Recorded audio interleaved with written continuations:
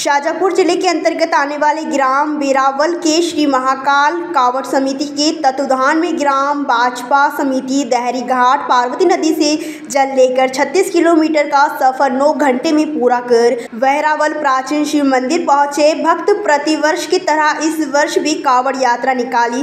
बेरावल सहित आसपास के गाँव के हज़ारों शिव भक्त शामिल हुए। दहरी घाट पार्वती नदी के तट पर कावड़ यात्रा शुरू हुई, जो करीब तीन किलोमीटर लंबी थी यात्रा 36 किलोमीटर का सफ़र तय कर बेरावल प्राचीन शिव मंदिर पहुँची, जहाँ अभिषेक किया गया भक्तों को पहुँचाने के लिए पूरे नौ घंटे लगे। यात्रा श्री महाकाल कावड़ समिति बेरावल के तत्वधान में निकाली गई। सुबह सात बजे से ही नदी तट पर भक्तों का पहुँचना शुरू हो गया था।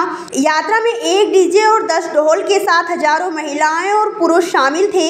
यात्रा के दौरान गणेशपुरा खरदोन कला खोकरा कला आगखेड़ी घाटी सहित गाँव में कावड़ यात्रियों को चाय नाश्ते के साथ पुष्प वर्षा कर स्वागत किया गया, जिसके बाद बहरावल जोड़ पर सुस्तीपुरा वासियों के द्वारा कावड़ यात्रियों के सापा पहनाकर पुष्प वर्षा कर फलियारी नाश्ते खिलाकर स्वागत किया गया, जिसके बाद बेहाल जोड़ से विशाल जुलूस प्रारंभ हुआ।